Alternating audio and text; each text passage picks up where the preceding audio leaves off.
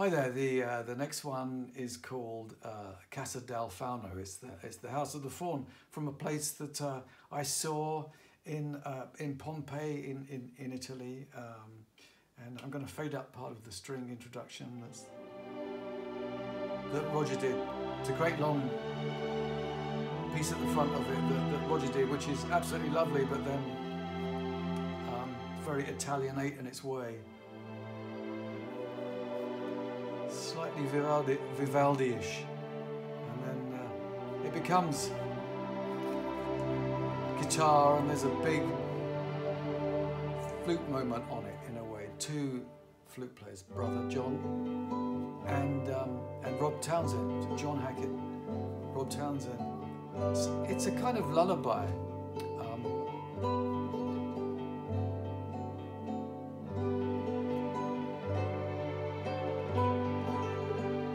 It's a good one to lull your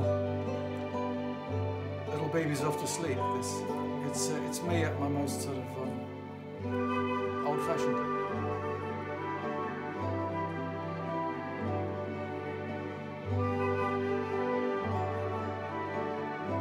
There's some great flute work on this if you like that. Anyway, there we are. It's a, as I say, very much a lullaby.